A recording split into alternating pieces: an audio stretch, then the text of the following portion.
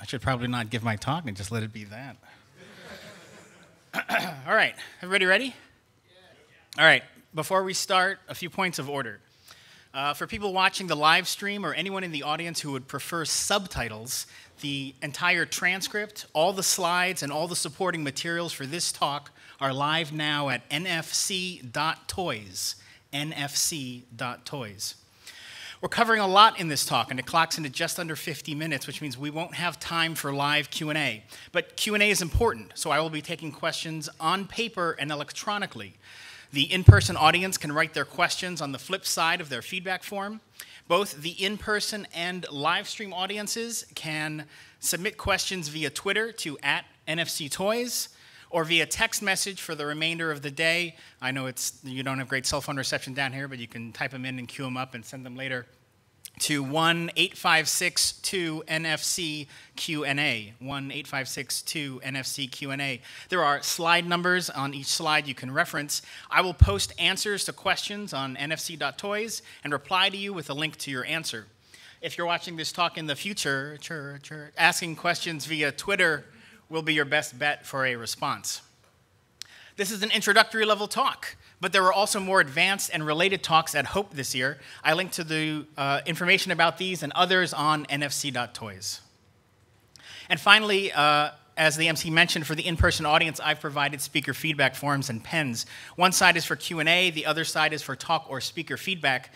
Please fill these out, and at the end, pass them forward or leave them on the tables outside. Uh, it helps me know how this went, independent of any feedback you may provide Hope directly. If you need paper for your own notes, I've also provided blank index cards. So please use the feedback forms to ask questions and provide feedback. There's extra ones up here up front and also on the table uh, in the middle of the aisle. All right, we're going to talk about NFC toys, which are toys which have NFC tags embedded in them. I want to give you an idea of why this is worth an hour of your time, but I need to start with a couple of examples for everyone who doesn't know what NFC is. So, uh, a round of applause. Who has paid for something using an iPhone with Apple Pay or an Android phone with Google Pay? Cool, all right. NFC is how your phone talks to the payment terminal you hold it up to, and all of those wireless payment systems work the same way under the hood. Part of NFC is a standard method of wireless communication. Uh, round of applause. Who waves a security badge against the reader to get into their building at work? All right. NFC is a subset of the RFID technology that your badge probably uses. Uh, inside that badge, just like inside an NFC toy, is what's called a tag. NFC tags are a small amount of memory, logic, and an antenna. They're not really a full on microprocessor. NFC tags are more like tiny, slow, wireless flash drives. Part of NFC is a standard set of tag types. When a tag, or your phone talking like a tag, is near enough to a reader, generally millimeters to centimeters, the reader's radio frequency transmissions provide enough wireless power to allow the tag to communicate back and forth, often just tens to a few hundred bytes. Now, NFC tags, which store tiny amounts of data, wireless NFC communication methods to transmit them, these are technical tools for engineers. But NFC toys are first and foremost toys. Toys are meant to be fun. Toys are meant to be played with everyone understands that toys are toys, so when a toy does something that a toy wouldn't normally do, that's visually interesting, that's stimulating. Swiping a toy of Samus Aran from Metroid on a subway turnstile, that perks you up, that's super interesting. What other kinds of data could you put on one? Well, anything. Because remember, they're like tiny, slow, wireless flash drives. You could have a Maleficent toy holding within it the original curse from the Grimm fairy tale. You could have a Tinkerbell toy with a link to the ebook of Peter and Wendy. You could have a piggy bank with your Bitcoin wallet's private key. You could have a Kylo Ren toy with a playlist of emo songs. You could have a toy car to unlock your real car. You could have a kickoff countdowns toy, store your World Cup predictions. You could have a toy in a geocache with coordinates to another geocache. You could have a Pikachu toy with the credentials to your dev environment at work. You could have a larger Pikachu toy with the credentials to your QA environment at work. You could have a giant Pikachu toy with the credentials to your production environment at work. Even though they're technically no different than a bare NFC tag, storing the same amount of data in the same way, communicating the same way, the novelty and playful aspect of NFC toys supports us in thinking about unique and fun uses for NFC tags in a way that NFC tags by themselves don't. That said, while they are technically no different than a bare NFC tag, because NFC toys are often intended to support interactions with copyrighted digital content, they may be legally different if we want to use them for our own purposes. We should be able to play with our toys as we see fit, and it's up to us to assert our rights to do so. We're going to talk about three makes of NFC toys, with most of our time spent on Activision Skylanders, because that's where most of the literature is but we'll also cover Disney Infinity and Nintendo Amiibo. There are other makes of NFC toys, and the techniques we'll use can apply to them, but these are what we'll be talking about today. As we talk about them, we're going to explain how they work, along with some background information about the toys to life genre of video games and pertinent details about NFC tags in general. We'll explore each one with off the shelf hardware and software, referencing a long history of security research, and learn how that exploration can lead to determining read and write credentials. And then we'll see how to write our own data to those three different types of NFC toy and talk about the legal implications of doing so. While I will be discussing legal matters, I am not a lawyer and this is not legal advice. Finally, I will hand out NFC toys and worksheets for anyone in the audience who wants to try this out for themselves. And I hope you will. We're going to start with Activision Skylanders uh, round of applause. Who has kids who are into Skylanders and you had to buy them a bunch of stupid toys and video games for the last seven years? Yeah, parents in the audience, okay. Okay, round of applause. Who was personally into Skylanders and bought yourself a bunch of awesome toys and video games over the last seven years? Fantastic. Uh, for everyone else who isn't familiar, Skylanders is a video game that launched in 2011 as a Spyro the Dragon reboot across every major platform, plus a Flash based web game. It's a game in the Toys to Life genre, as in bring your toys to life. Each Skylanders game shipped with a few starter figures and a USB NFC reader styled as a portal. To play the game, you place a figure on the portal, and that's the character you play as. When you name your character and you earn points and collect items, they're stored in the NFC tag on the toy. So when you take that same toy to your friend's house, it shows up with the name you gave it and all its points and experience and all its history. While you can beat the game with what comes in the starter kit to reach 100% completion and to collect every achievement, you need to buy additional types of characters and expansion toys. And Skylanders was a huge success. Sequels were shipped every year, variously offering extra large figures, recombinable figures with twice the NFC tags, or vehicle figures, resulting in over 350 Skylanders toys of all types. Earlier, we said that some Android phones, one that's, ones that support Google Pay, can talk NFC. And so an Android phone will be the first of three standard tools I'll be discussing. When you're exploring NFC tags on your own, it's easiest to look for an Android phone with Google Pay support.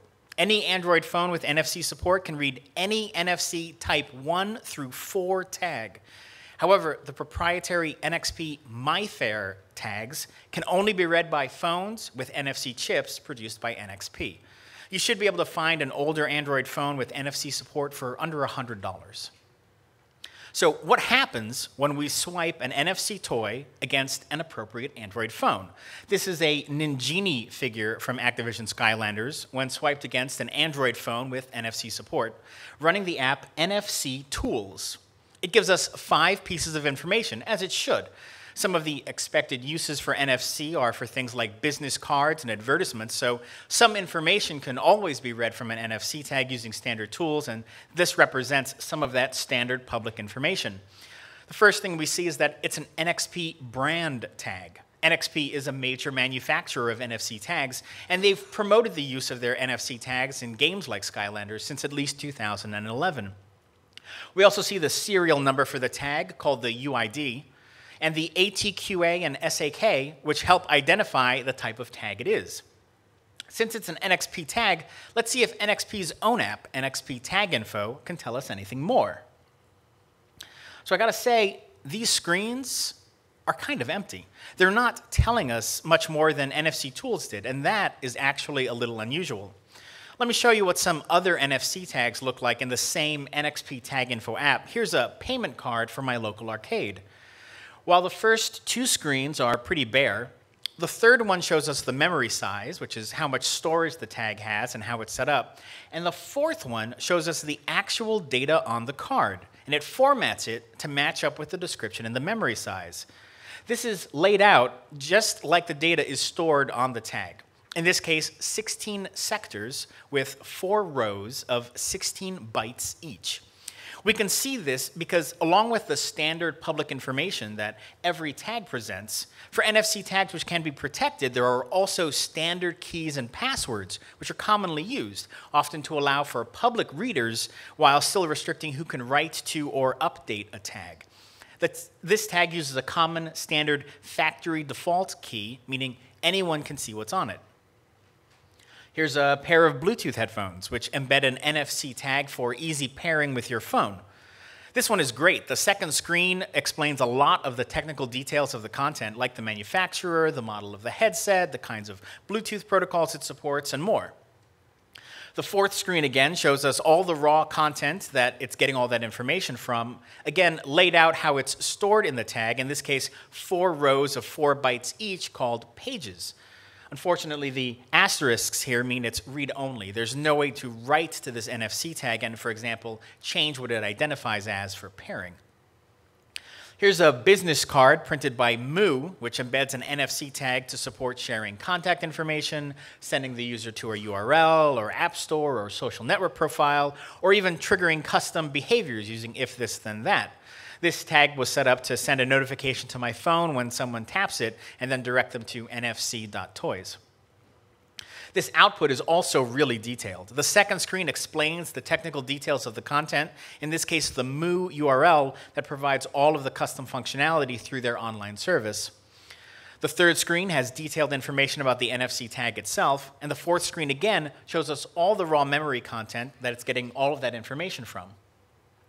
Again, this is in a pages structure. The entire business card appears writable, meaning we can put anything we want to on it, even replacing Moo's online service with our own.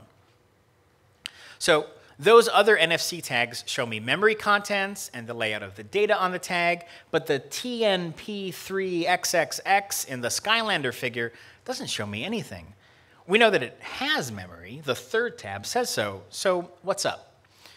To figure it out, let's use that elite hacking technique called go poking around the internet. Like if we search NXP's website for TNP3XXX, we find it in this PDF describing ways to identify NXP MyFair tags. So it's a MyFair tag. Curiously, it doesn't have any other information. But table two in this PDF describes another MyFair tag with 1K of memory, the MyFair Classic. Wikipedia describes the MyFair Classic's memory size as so. It matches the description of what the third screenshot from NXP Tag Info told us. So maybe the TNP3XXX is a MyFair Classic compatible tag, even if Tag Info present, pre uh, pretends to not know what it is. Wikipedia also says this. As a common type of NFC tag, MyFair Classic is pretty well explored from a security standpoint. If TNP3XXX is a MyFair Classic derivative, could it be vulnerable to the same exploits that MyFair Classic tags are, allowing us access to the tag? So that's as far as we can get on a Skylanders toy with an Android phone. So it's time to upgrade to the second set of three standard tools I'll be discussing. Dedicated NFC reader hardware plugged into your computer. We want to look for hardware that's compatible with the libNFC open source library, which supports a select range of NFC reader chips on Linux, Mac, and even Windows with some futzing. We want libNFC compatible hardware because a lot of the dedicated NFC readers you'll find are Windows only or only expose low-level communication functions requiring more complex technical programming. There are higher level, easier to use libraries in various languages which use libNFC under the hood, so it provides security researchers and hobbyists alike with a standard platform. You can find a libNFC supported NFC reader for around $50. In addition to a supported NFC reader plugged into our Mac or Linux computer, you'll also need to already know or be comfortable figuring out how to compile software yourselves, but we won't need to write anything new. So Wikipedia describes something like nine different papers and presentations going back to 2007, which provide various attacks on and compromises to MyFair Classic tags. In addition, NXP released so-called hardened versions of MyFair tags, quote, in and around 2011. In exploring this Ninjini toy, we're really just taking the next steps in a long line of scholarship. Now, this Ningini toy is from 2012, the Giants line. I use it as an example because it's bigger and it lights up, but if it's a MyFair Classic tag in disguise, we're going to have to use a compromise that works against the hardened version of the tag, like the one from this paper published in 2015 which finally led NXP to tell people to stop using them. Now, all you need is one known key. But what's a key? So remember that payment card from earlier the, and its memory layout? This is the same as how a MyFair Classic tag is laid out in 16 sectors numbered 0 through 15. Each of those rows in each sector is called a block. Each block can store 16 bytes. 16 bytes times 4 blocks times 16 sectors is 1K of storage. The last block in each sector stores two passwords called key A and key B with access bits in between them, which define which of the keys can read or write the blocks, as well as read or write the other key. In this sector from the payment card, the first password key A is hidden, unknown, xed out which probably means you need to you needed to update the dollar figure on the card. The second password, key B, is the factory default key, and it's readable, which means we can see it, but probably also means we can only use it to see what data is on the tag, but not change it. 16 sectors, a key A and a key B each, mean there can be up to 32 passwords you need to uncover to get access to a completely locked down 1K MyFair Classic tag. But what this paper tells us is that we only need to know one, and due to vulnerabilities in the logic on the tag, it can figure out the rest from there. Knowing one in advance is not as difficult a task as it might seem like. Obviously, we already know one for this payment card, and maybe the TNP3XXX has a similar situation. We could search documentation and source code for common MyFair keys and try each one of them against the key A and key B for every sector, and spoiler alert, it'll eventually work. You'll eventually find one. But this is 2018, and you have slightly newer information available to you than I did when I did that myself back in 2014. So let's head back to the internet to find it. So we're looking for a known key for a Skylanders toy and some not so creative searching nets us an interesting paper comprehensive security analyses of a Toys to Life game and possible countermeasures, a master's thesis by Kevin Volk. And when you find the author's homepage, you also find the fact that he worked with Toys for Bob, developers of Skylanders, for a year. Now, the thesis never says Skylanders by name, but knowing what we know now, it's easy to recognize that's what it's about and it contains exactly what we're looking for. And this. It says that the first key, the key A, in every toy is the same. And what does the paper say the first key is? Yes. Okay, so thanks to two research papers, we have a known key and we have an attack vector, and now we just need software to run it that works with libnfc. Let's look for ciphertext only cryptanalysis on hardened MyFair classic tags, libnfc. And a little ways down on the page, we have an implementation of the paper's algorithms suitable for use with libnfc.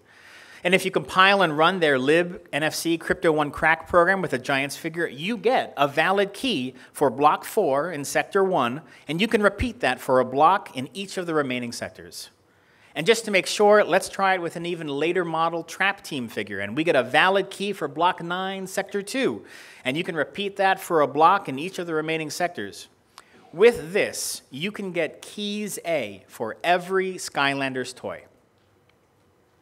You can then plug these into any libnfc MyFair reading app or into MyFair reading apps on your supported Android phone, assuming the apps recognize the Skylanders toy as MyFair Classic tags and see the full contents of the toy. That looks like this.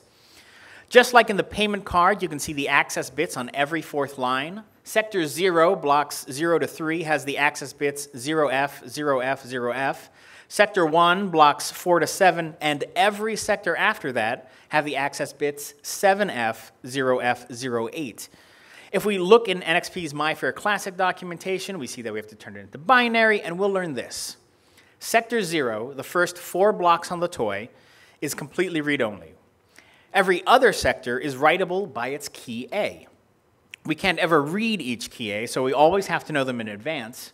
Key B is all zeros, which is a really common password, but it can't do anything. So it's all it's really good for is being used to exploit other keys.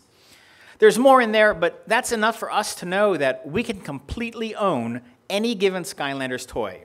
With a method to obtain all the keys A, we have full read and write access to every available block. That's 15 sectors, three writable blocks of 16 bytes each. For a total of 720 bytes, we can write anything we want to.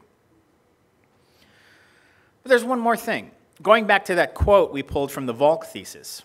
For the toys to work as they do across multiple platforms and offline, and with every key A on every toy being different, there has to be some formula or math that sets them, that the portal or the game knows about, that has to be based on some fixed, immutable information about the character, like the content in Sector Zero. So, how do you figure out what that formula is? Well, if you're like me, or like the security researchers who also eventually figured it out, you buy and you crack a lot more toys. As RFID and security researchers discovered across 2014 and 2015, if you collect enough keys and do some math, you can see patterns in how each sector's keys relate to each other and come up with more than one method to generate the keys. Valk's thesis even included the fact that the patterns in the keys could be discovered, documenting that there were patterns, but he didn't go so far as to document what the patterns meant. So today, I present the first public clean room description of an algorithm to generate the keys A for all Skylanders figures released to date. I'm publishing this to support new interoperability of Activision Skylanders NFC toys, by knowing an algorithm used to set the read and write passwords, keys A, we can interoperably read and write our own data to Skylanders NFC toys using our own NFC hardware and software without tedious manual cracking on a per toy basis. Thank you.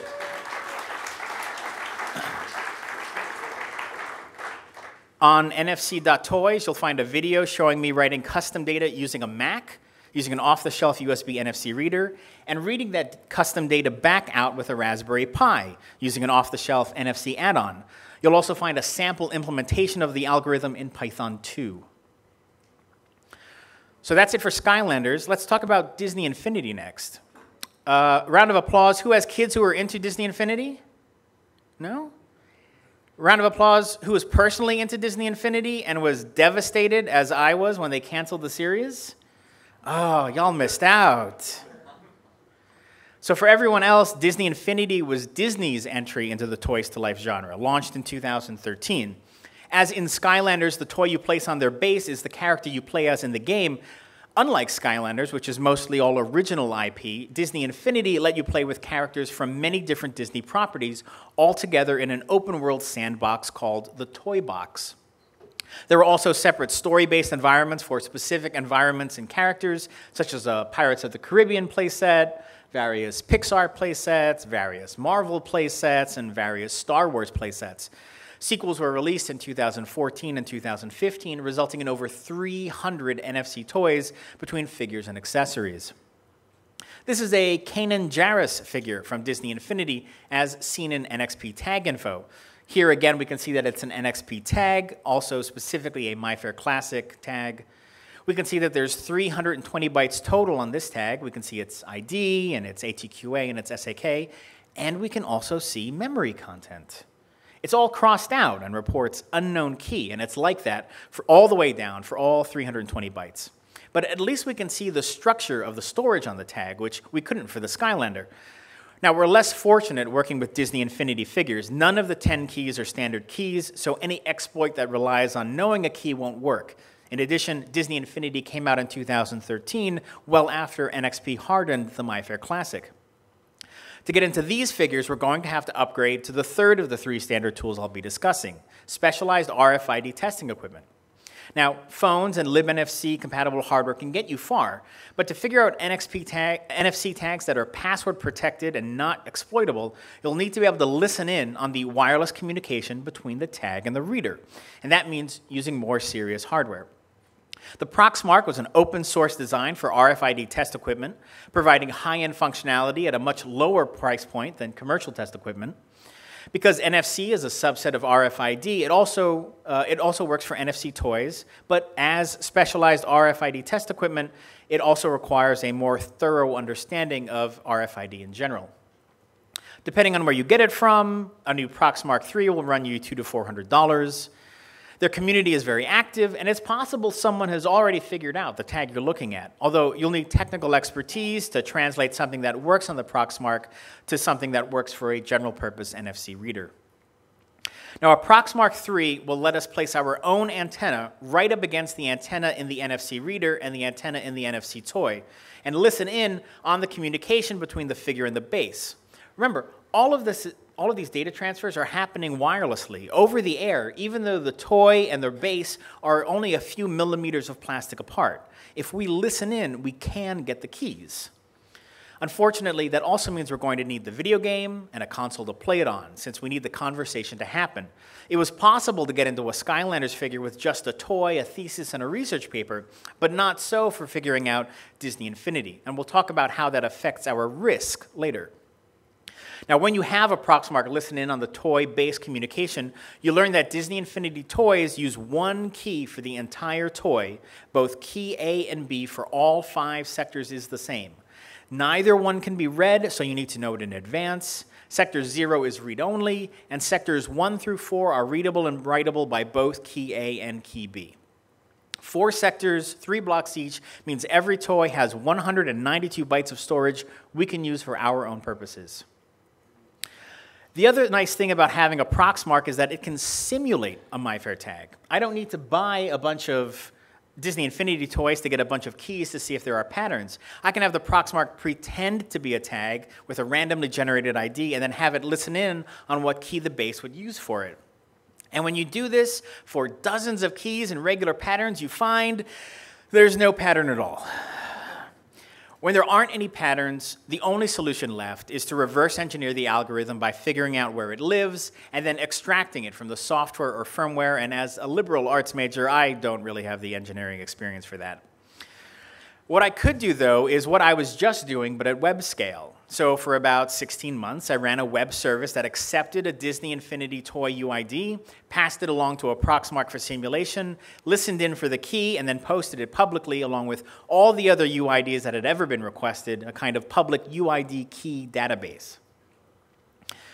But finally, another security researcher did have the engineering experience, and so today I can present the first public cleanroom description of an algorithm to generate the keys A and B for all Disney Infinity figures released.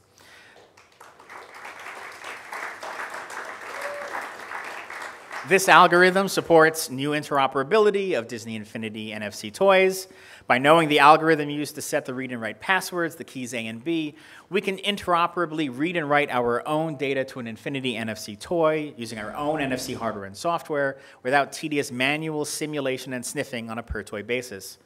On NFC.toys, you'll find a video showing me writing custom data using a Mac and reading that custom data back out with an Android phone using a standard app from the Google Play Store. You'll also find a sample implementation of that algorithm in Python 2. Now, there haven't been any new Skylanders figures in a year, and Disney Infinity was canceled in 2016, but Amiibo, which is Nintendo's line of collectible figures, playing cards, and cereal, is still going strong. Uh, same thing as before. Round of applause. Who has kids who regularly demand new Amiibo figures? So, who has been forced to pirate amiibo figures, either buying pre-clone tags or clone tags, because the amiibos you want always sell out before you can get one. Nobody's going to admit to that? Okay. Uh, for everyone else, Nintendo launched Amiibo in 2014, and in classic Nintendo fashion, treats them as much as rare collectibles for obsessive adults as video game accessories for kids, resulting in lines in front of stores on release days, and toys selling out and never being reissued. Because NFC support is built into Nintendo's Wii U, new 3DS, and Switch consoles, no game specific reader is necessary for any game to provide Amiibo support. You just swipe the toy right on the controller. What each Amiibo toy does is different in each game. Some support only specific figures, some store gameplay data on the figure, some will recognize any figure. Nintendo lists over 60 games in the US with Amiibo support and over 160 toys, and there are also additional Japan exclusive figures and games. This is a Duck Hunt figure from Nintendo Amiibo, as seen in NXP Tag Info.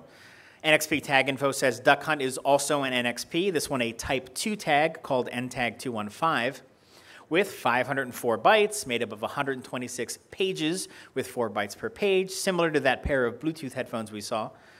Here's the memory content. Unlike the Disney Infinity figure, nearly all of the amiibo is readable, but some of it is marked as locked and blocked or blocked. If we were figuring out amiibo ourselves, we'd have to work it like we did Disney Infinity. But we're luckier here in two ways.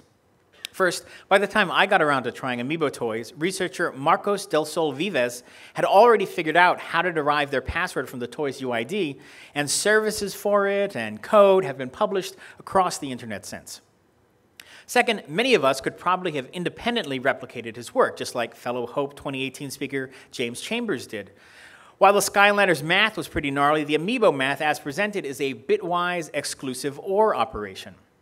It's simple enough that you can do it by hand with pen and paper, enabling us to write 100, uh, 428 bytes of our own data onto any Amiibo NFC toy.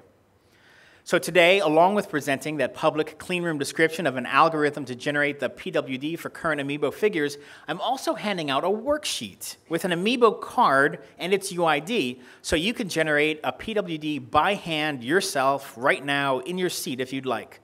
These support new interoperability of Disney Amiibo, uh, sorry, Nintendo Amiibo NFC toys.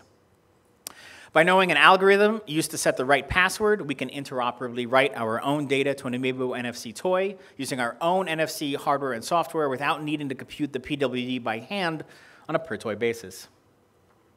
On NFC.toys, you'll find a video showing me writing custom data using a Raspberry Pi and reading that data out using a Windows 10 laptop using the open source Google Chrome NFC library. And again, you'll also find a sample implementation of this algorithm in Python 2. Before I hand out those worksheets, though, it's important to consider those legal subtleties I mentioned. Can we get in some sort of trouble if we do this? So, a few points of order again. First, I'm about to talk about legal stuff, but I am not an attorney, and this is not legal advice.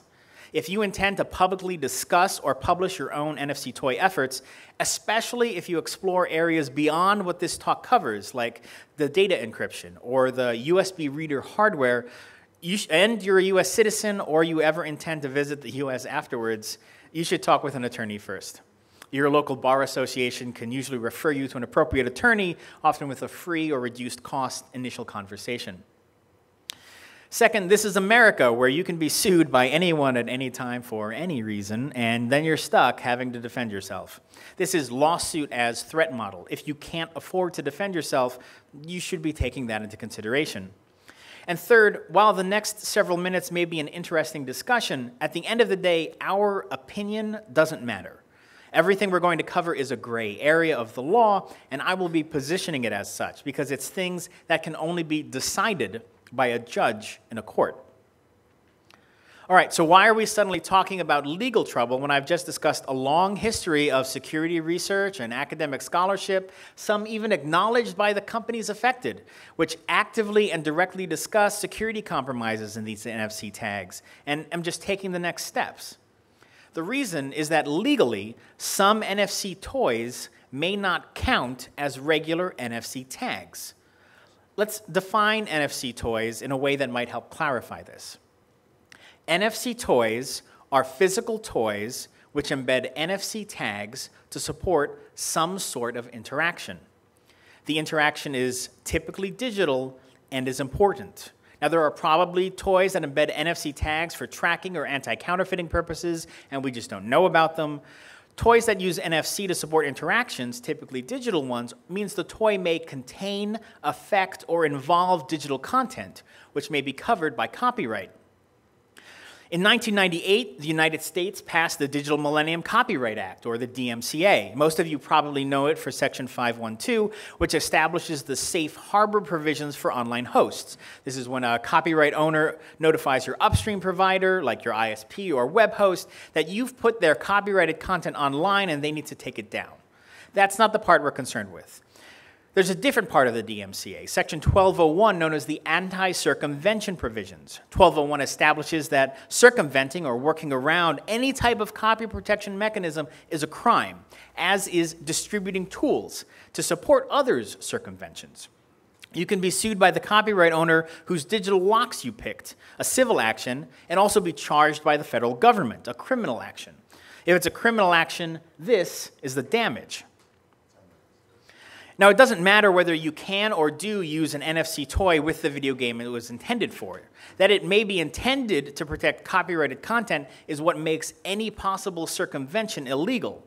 So maybe let's take this seriously and see how the DMCA concerns us based on excerpts from the 2013 Department of Justice Prosecuting Intellectual Property Crimes Manual, 4th edition. To prove a violation, the, United, the government must establish that the defendant willfully circumvented a technological measure that effectively controls access to a copyrighted work for commercial advantage or private financial gain. Let's take those one at a time. Willfully. Willfully has a specific legal meaning, but let's just go with the idea that since you're all in this room, you can't argue that you didn't know it might not be okay for you to do this. Someone who just comes across those clean room algorithms might have a stronger case. Circumvented. Even if buying the toy legally doesn't grant us the right to crack its keys and put our own data on it, once we have the keys, we're not bypassing anything. We're using the keys as intended.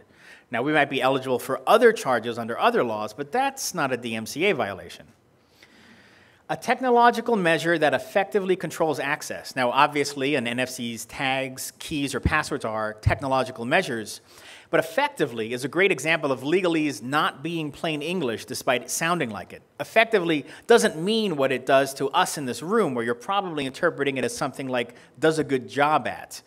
In court, effectively uh, basically means does it exist to do this?